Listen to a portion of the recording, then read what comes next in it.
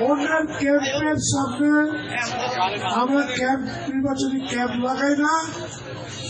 এবং পোস্টার ছেড়াছেড়ি আমরা করি না। এগুলো নোংরা এবং ছোট মনের মানুষের কাজ।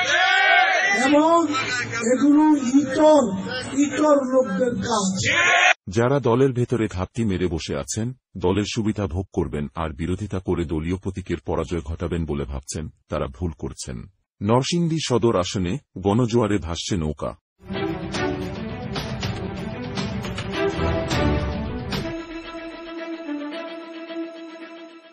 নির্বাচন যত ঘনিয়ে আসছে, তত ভারী হচ্ছে নৌকার পাল্লা।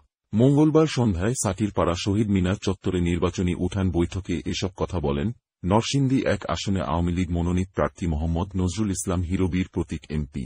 উঠান বৈঠকে তিনি বলেন, শেখ হাসিনার উন্নয়নের অগ্রযাত্রায় কয়েকজন সুবিধাভোগী অপশক্তির কাছে নৌকা কখনো পরাজিত হতে পারে না। আগামী সাত জানুয়ারি নৌকার গঞ্জোয়ারে অপশক্তিরা ভেসে যাবে বলে আমি বিশ্বাস।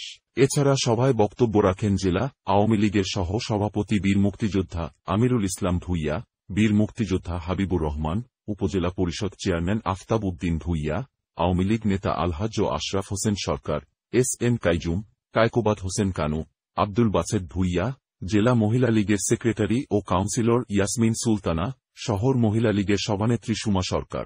আমাদের ভূয়া সোহেল ভাইয়ের নেতৃত্বে এবং আমাদের যারা নেতৃবৃন্দ আছে সবাই নেতৃত্বে আমরা নজরুল ইসলাম হিরু ভাইকে বিপুল ভোটে আমরা জয়যুক্ত করব ইনশাল্লাহ।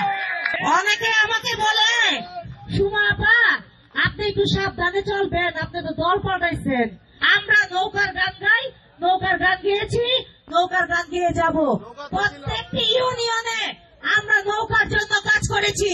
প্রত্যেকটি পৌরসভায় প্রত্যেকটি সদর থানায় আমরা নৌকার জন্য কাজ করেছি মহিলা আওয়ামী লীগ। মহিলা আওয়ামী লীগের হাত কিন্তু এত সহজ এবং এত নরম না। মহিলার আওয়ামী লীগের হাত হাত এ সময় জেলা, আওয়ামী লীগ ও সহযোগী সংগঠনের নেতৃবৃন্দ উপস্থিত ছিলেন। সভায় সভাপতিত্ব করেন সাবেক কাউন্সিলর সাফিরুল ইসলাম।